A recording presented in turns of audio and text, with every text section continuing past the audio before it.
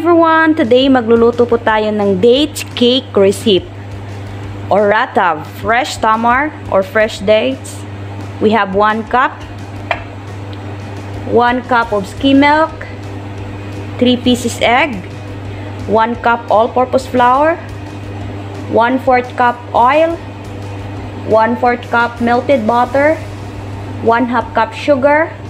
1 half cup milk powder 1 teaspoon baking soda, 1 teaspoon baking powder, 1 teaspoon vanilla powder, and a pinch of salt.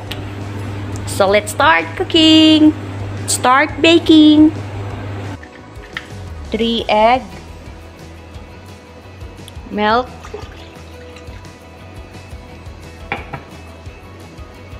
melted butter,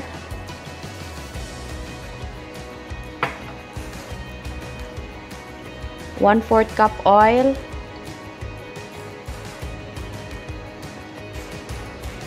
pinch of salt, vanilla.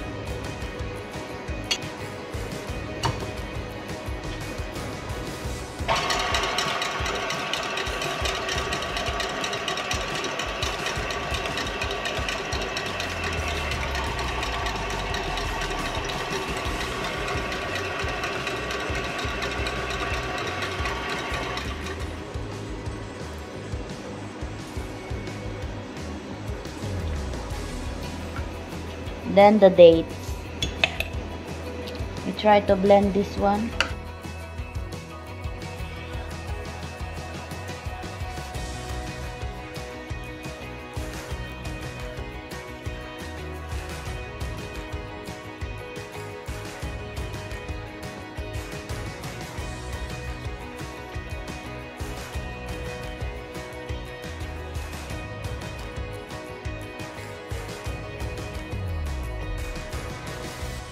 Then we add here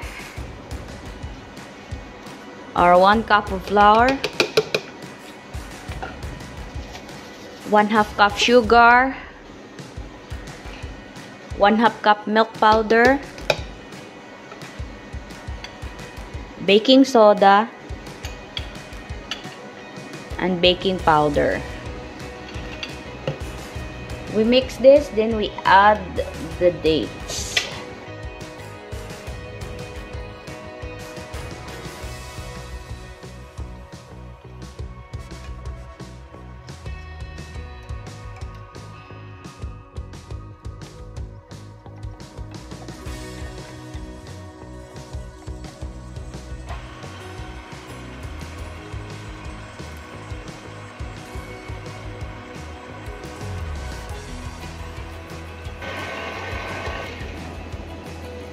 Do not overmix the ingredients or our butter. Then I use some non-stick cooking spray oil.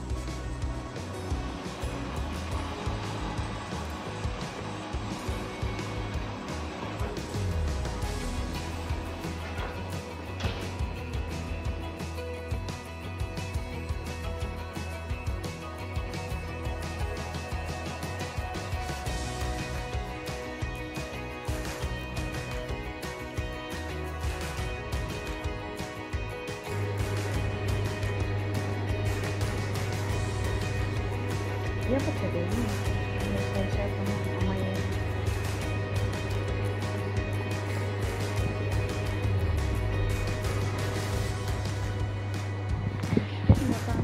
Wait, wait, wait, wait. Dinaldin, wait. Okay.